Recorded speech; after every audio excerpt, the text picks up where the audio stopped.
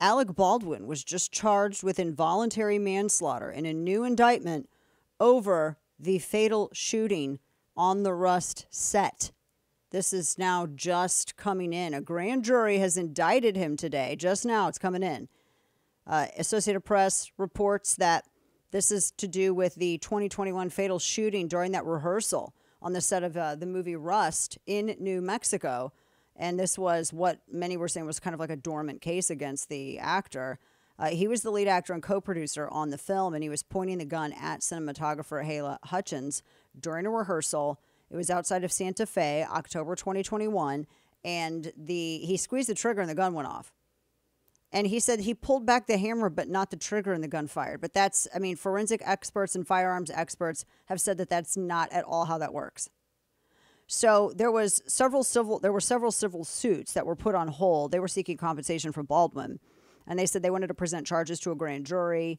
Uh, and so the plaintiffs in those suits include members of the film crew. Hutchins' husband also had filed suit against Baldwin as well as I think it was one of the scriptwriters. We'd interviewed Gloria Allred about that uh, a couple of years ago when this happened uh, because she was represented by Allred, and she said she was traumatized, and she also had said through Allred that uh, they uh, didn't at all include for him to like be drawing the gun and and and pulling the trigger or anything like that that day. And that was she and she was writing this. She was like she was a part of uh, dealing with the script, so she said that wasn't even on the agenda for the day.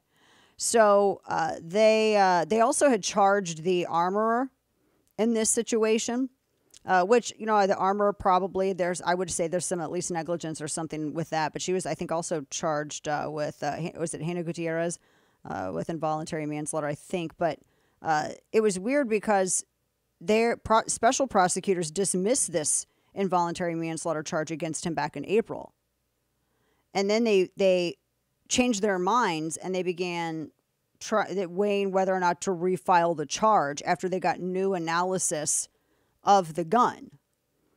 And they said that there's, you know, the, the, the, the markings on the cartridge without, beyond any shadow of doubt, prove, and this is, it's like, guys, this is not easy or it's not uh, difficult to, you know, come to the conclusion on this. But they said the markings on the cartridge prove irrevocably that the trigger had to have been pulled. End of. You can't just, you know, cock it and then that's, you know, that's not how that it's not how that works. And he kept denying that he did it, but uh yeah. Now, one of the things with this, and I've written quite a lot about this, like I said, a couple of years ago, we interviewed uh, Gloria Allred, who represented one of the crew members who had filed suit against Baldwin as well. And they had there were there were a lot of complaints on this set so not only was Baldwin starring in it, but he was also the executive producer of the set. And part of the responsibility of an executive producer is you run a sound set. Uh, you're involved in hiring. You are involved in laying the the rule for set safety, making sure that requirements are met, et cetera, et cetera, et cetera. That's your job as an executive producer. You hire the armorer, meaning the person who supplies and prepares any of the prop weapons, and also to make sure that they are cleared. Uh, you do all of that. And that's you know that's your responsibility as the executive producer. So at some point he's going to have you know some kind of culpability there, uh, no matter which way you, you look at it. And it can't just be the armorer. But he, and he was the one who pulled the trigger but he had denied it, you know, the whole time. And I mean, the forensic the forensic reports say what they say. I mean, it's you know, I mean, it's beyond any any question at all whatsoever. So uh, it was weird because they had said they were going back and forth, and I'm looking at like some notes of this. They were going back and forth as to, you know, how, because uh, like I said, they had dismissed these charges back in April, and then they said, you know, with the release of this new information about the uh, the cartridge marks on the gun, which it shouldn't take you that long to look at it, but they decided to refile these. So he's been charged with involuntary manslaughter, and I knew it was going to be some kind of manslaughter charge. It's not it's not uh, murder because there's no premeditation. Even if it's an involuntary manslaughter, you know, it's an accidental uh, murder. I don't believe that he intended to kill her, but his negligence did contribute to that. And one of the things, too, that I have talked to a lot of people who work in the film industry, and they even asked Nick Cage about this. He was on the red carpet a couple of years ago, and they had asked him about it. And he's like, I always clear my own weapon.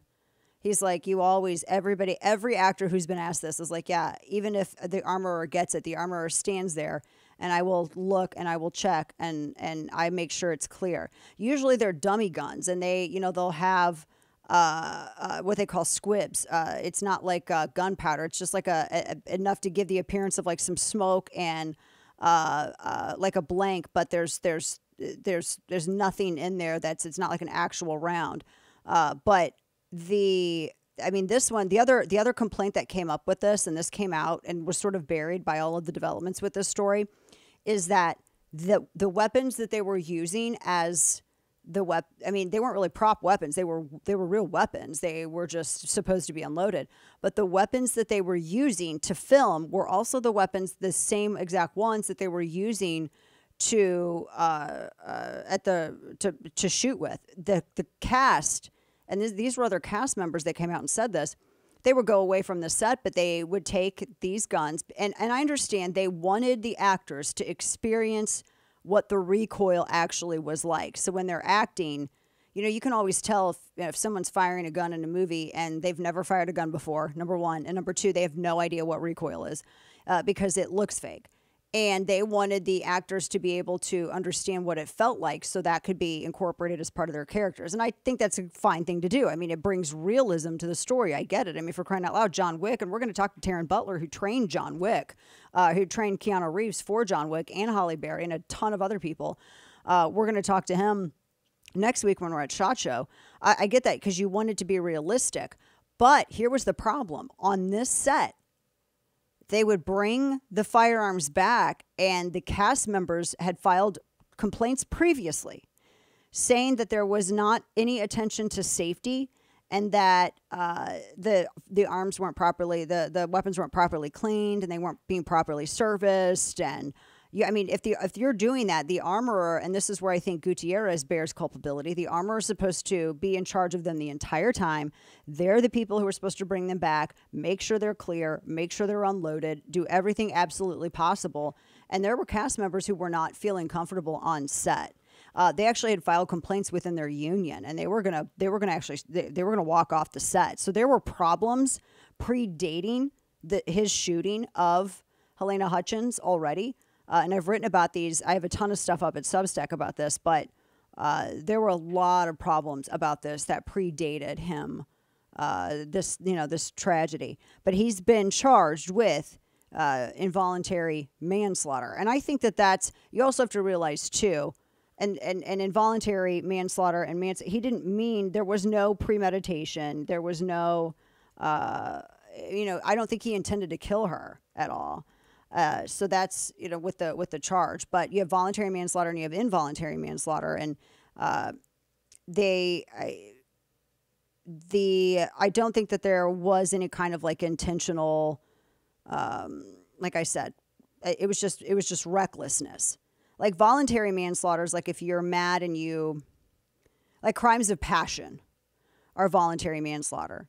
Um, it's involuntary is unintentional. It's like accidental. It's um, negligence. So this is the correct charge for this. Uh, and I don't think that the prosecutors would bring any kind of charge. You never want to go over what you can do. If anything, you want to kind of go under what you know that you can prove in court, so that you can that you can secure a conviction. So uh, I don't see how he gets out of this.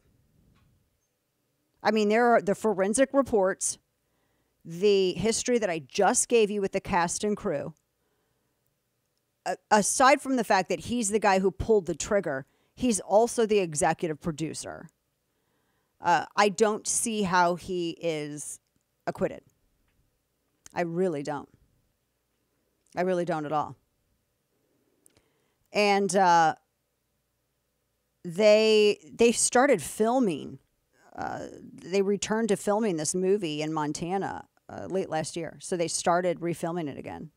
And then the part of the deal was that uh, Halyna Hutchins' widow is uh, executive producer, is serving as an executive producer, which means that he's, I'm sure he's probably going to be paying attention to the safety and all that stuff as well. So it's not just the armorer. That's why that's part of his responsibility in this. Because remember, when you're executive producer, you also are dealing with the assumption of liability, insurance, and everything else for this. This is why, like, remember back, there were stories before Robert Downey Jr., who's an amazing actor, and he was very transparent about all of this when he had his drug and alcohol problems. He could not get insured on a film. And Mel Gibson stepped in to help him.